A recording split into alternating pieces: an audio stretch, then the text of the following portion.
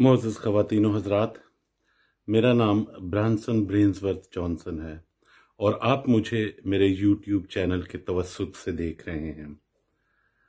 आज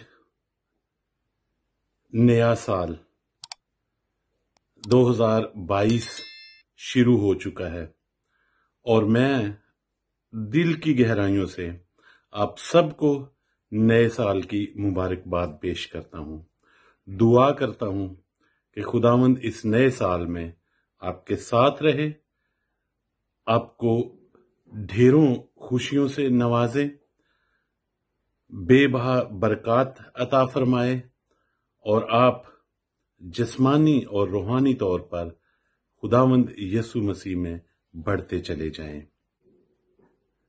खवतिन हजरात, मुझे याद है एक दफ़ा मेरे वालद मोहतरम ने नए साल का पैगाम देते हुए, एक तालब इल्म की नोटबुक, जिसे हम कॉपी कहते हैं, एक कॉपी ली।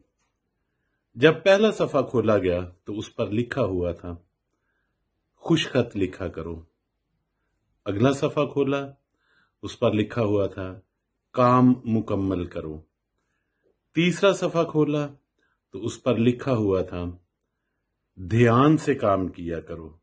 चौथा सफ़ा खोला तो उस पर लिखा हुआ था, लिखाई अच्छी बनाओ। पांचवा सफ़ा खोला तो उस पर लिखा हुआ था कि ध्यान से काम किया करो। अलगर्ज, सब सफहात पर इसी तरह के कमेंट्स या रिमार्क्स लिखे हुए थे।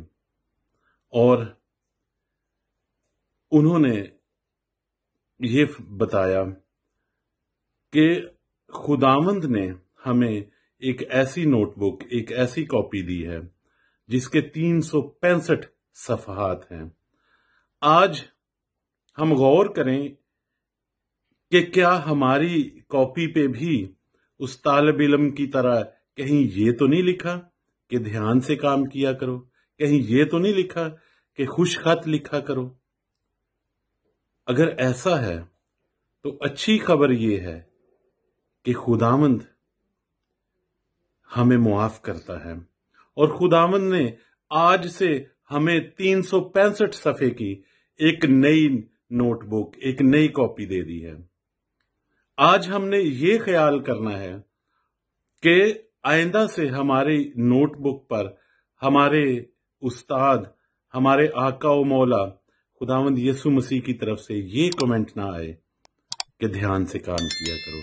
बल्कि ये लिखा होना चाहिए, शाबाश, तू थोड़े में वफादार रहा, मैं तुझे बहुत सी चीज़ों का मुख्तार बनाऊँगा।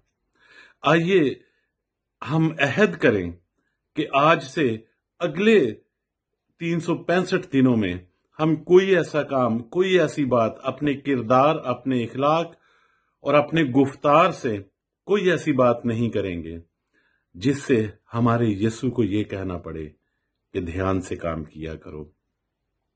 खुदावन ने ये जो नई कॉपी हमें दी है, इस पर हमें गौर करना है और हमें सोच समझकर इसके एक एक सफे पर अपने अमाल दर्ज करने हैं।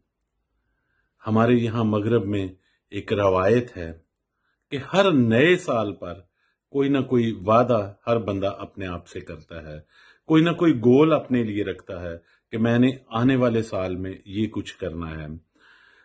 एक तजिए के मुताबिक, एक तहकीक के मुताबिक ये बताया गया है कि अगर किसी ने अपना गोल लिख कर सामने रखा है तो पचानवे फ़ीसद लोग उस गोल को हासिल कर सकते हैं। लेकिन अगर किसी ने दिल में रखा हुआ है, उसकी सोचों में है तो सिर्फ़ पाँच परसेंट लोग उसको हासिल कर पाते हैं। तो अच्छा है कि हम अपनी रोज की डायरी में दिन का हिसाब किताब रखें, हर दिन के लिए एक गोल रखें और हर दिन के लिए हम एक वादा करें। आज से हम अपने गोल सेट करें। आज से हम सोचें कि हमने अगले साल में क्या करना है। और इस तरह से हम अपनी ज़िंदगी में बढ़ते चले जाएँगे। ज़िंदगी में मुश्किलें आती हैं। मुश्किल वक्त भी आता है, लेकिन हिम्मत बांधकर और मज़बूत होकर अपने खुदा पर ईमान रखकर हमें इस लड़ाई को लड़ना है और बेशक आखिर में हम कामयाब होंगे। एक बार फिर मैं अपने दिल की गहराइयों से आप सबको नए साल की बहुत बहुत मुबारकबाद पेश करता हूँ।